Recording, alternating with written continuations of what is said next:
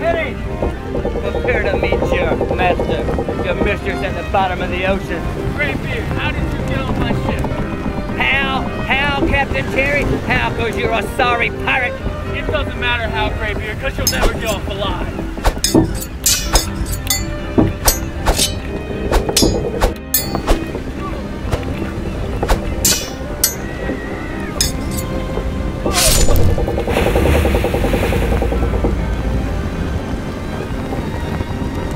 Thank you.